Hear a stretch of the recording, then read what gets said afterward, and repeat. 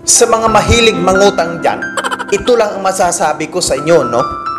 Mag-focus ka lang sa goal mo bilang isang utangira. talent mo yan. Yan yung talent na ibinigay sa'yo. Hindi ko lang alam kung sino ang nagbigay sa'yo. Talent mo yan. Mag-focus ka sa goal mo bilang isang utangira, utangiro. No? Ngayon, kung wala kang pera, pumunta ka doon sa mga kapitbahay nyo. Mangutang ka doon.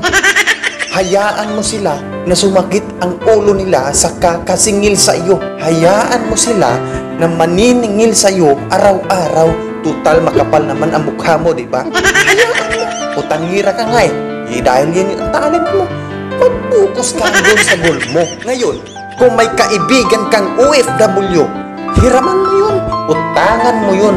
Tiyak hindi makakatanggi yun sa'yo dahil wala ka namang naiambag nung umalis siya, di ba? Kapal mukha mo eh. Utangan mo yun. Mag-focus ka lang dun sa goal mo bilang isang utangira, utangiro. Maraming mga OFW ngayon, maraming pera. Hiraman mo sila isa-isa. Hindi makakatanggi sa'yo yun. Total, wala ka namang naiambag sa kanila isa-isa eh. Makapal nga ang mukha mo, di ba? Dahil yun ang talent mo. Kapalan mo palalo yung mukha mo. Huwag ka mahiya. Bakit ka mahihiya? Eh, yun yung talent mo. Sa araw-araw ba naman na ginagawa mo, dahil tamad ka, kaya ka nangungutang na lang, magiging immune na yung mukha mo sa kakaharap dun sa mga taong inuutangan mong inaka. Ha? Ngayon, kung sinisingil ka na, deserve mo yun dahil utangira kang hinayupak ka. Sa umpisa ka lang masaya, pagka siningil ka, ikaw pa ang galit. Ngayon, pag sinisingil ka na ng mga nautangan mo, magalit Dahil deserve mo yun. Di ka dapat pilitin na magbayad sa mga utang mo. Pagka singilin ka, pagalitan mo. Magalit ka doon sa nautangan mo. Di ba? Eh yun naman yung kalakaran ngayon eh. Kung sino pa yung nautangan, yun pa ang mahihiyang maningil sa yung naka. At kung sino pa yung nangutang, yun pa ang galit sa inutangan inaka. Talent mo yan.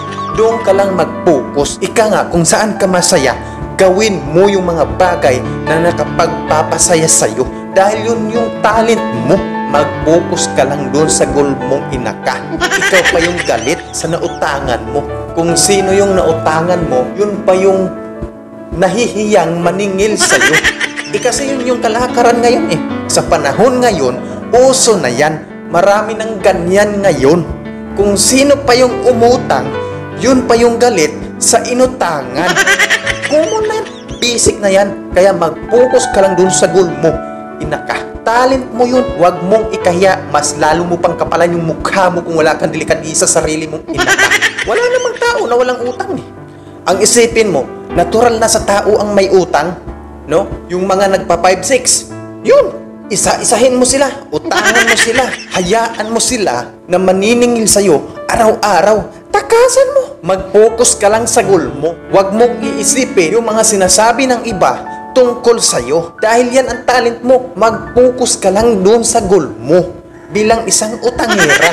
Pues patunayan mo sa sarili mo na makapal ang mukha mo. Mangutang ka pa ng mangutang.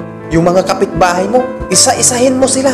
Utangan mo sila. Yung mga kaibigan mo, kung marami kang kaibigan, utangan mo sila isa-isa hanggat mapuno sila. Tiyak pauutangin ka yan dahil kaibigan mo sila. Sa ugali ng isang mangungutang, di ba? Kabisado mo na yan eh. Di ba? Utangira ka. Pinapakita mo lang sa kapitbahay mo, sa mga kaibigan mo, ang pagiging isang utangira mo dahil talent mo yan eh. Ngayon, pag nararamdaman mo wala ka ng pera, pumunta ka doon sa barangay captain nyo. Tiyak pautangin ka nun. Hindi magre-reklamo yun sa'yo. Pautangin ka nun. Eh, barangay captain nyo siya eh. Makapal ang mukha mo, di ba? Kapalan mo. Hindi lang sa barangay captain.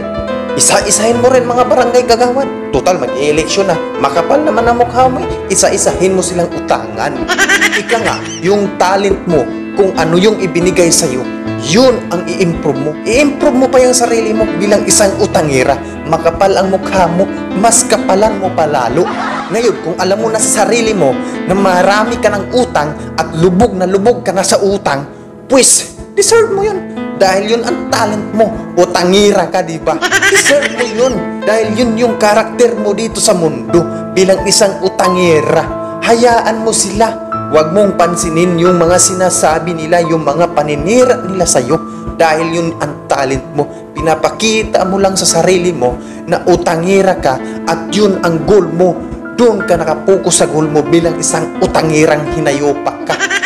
Ngayon, kung nararamdaman mo ng halos isang barangay na yung naniningil sa'yo, aba, magtago ka ng hinayopak ka.